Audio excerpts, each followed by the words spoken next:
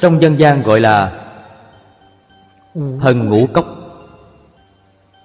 Hay là phần nhiều gọi là táo thần. Chính là vị này.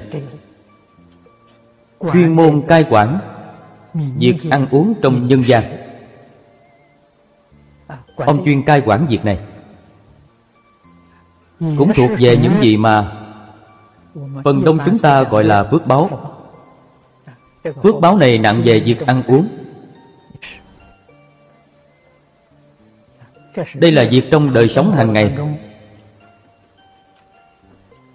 Bất cứ người nào cũng chẳng thiếu. Sự ăn uống trong nhà Phật có lễ tiết. Trước khi ăn, Phải dùng tâm thanh tịnh, Cung kính để cúng dường. Đây là sự chí kính Đối với loại quỷ thần. Hy vọng họ có thể gia trì, Bảo hữu. Nếu chúng ta ăn uống chẳng điều độ, Chẳng biết lễ tiết, thì những vị chủ thực thần sẽ chẳng hoan hỷ. Nếu lại trà đạp lương thực, thì tội lỗi này rất nặng. Phải biết trên thế gian này có rất nhiều địa phương bị đối khác chúng ta có đồ ăn uống, có nghĩ đến những người bị đối khác hay không? Nếu mỗi khi ăn uống đều có thể nghĩ đến, thì đó là tâm từ bi tỏ lộ. Đây tức là tích lũy công đức. Có tâm niệm này rồi. Khi gặp những tai nạn này, thì bạn nhất định sẽ cứu giúp bạn sẽ giúp đỡ. Đừng có coi thường chuyện này. Thánh hiện thế gian và suốt thế gian đều nói với chúng ta. Vậy chúng ta phải ngăn chặn sai lầm ngay từ đầu. Mới có thể tránh khỏi hết thảy tai họa. Di tiệm, Di là nhỏ nhiệm. Tiệm nghĩa là chậm chạp. Những việc nhỏ này Mà bạn chẳng phòng bị Thì dần dần sẽ biến thành tai họa lớn. Cho nên phải giữ tiểu lễ. Phải phòng ngừa những lỗi nhỏ.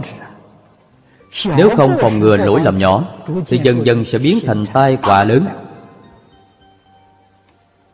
Chúng ta phải hiểu đạo lý này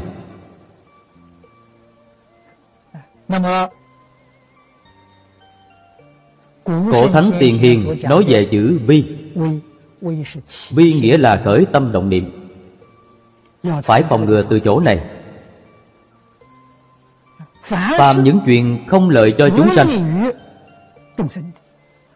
chẳng lợi cho xã hội, thì một niệm ấy không được khởi. Nếu khởi một niệm ấy, thì tuyệt đối sẽ có hại cho mình niệm niệm đều có thể vì chúng sanh vì xã hội thì nhất định sẽ có lợi. Nhất định là như vậy. Tuy trước mắt bạn chẳng nhìn thấy sự lợi ích này. Quỷ thần đã nhìn thấy rất rõ ràng. Đã ghi chép rất rành rẽ. Tích tiểu thiện sẽ thành đại thiện. Tích tiểu công sẽ thành đại công Tích lũy càng sâu dày, Tích lũy càng nhiều, Thì ngay đời này sẽ thọ báo. Chẳng cần đợi đến đời sau. Trong liễu phàm tứ quấn chúng ta thấy, sau khi ông viên liễu phạm hiểu rõ đạo lý, cả nhà đều tu tích công đức. Ông được quả báo ngay hiện đời. Trong mạng của ông chẳng có công danh công danh lúc trước tức là thi đậu học vị tiến sĩ. học vị cao nhất này trong mạng ông vốn chẳng có. trong mạng ông chỉ có tú tài. sau này ông đậu cử nhân đậu tiến sĩ. Đều do đời。này tu được. Trong mạng chỉ sống tới 53 tuổi. Ông sống đến bảy mươi mấy tuổi. Ông chẳng cầu trường thọ Trong mạng chẳng có con cái. Ông lại được hai người con trai ngoan. Đây đều là do mạng hiện thời chuyển trở lại. Ông tu tích nhiều. Đây là gương tốt Mô phạm cho chúng ta. Cho nên người thế gian Thường thường Người nghèo khốn Còn có thể tu phước.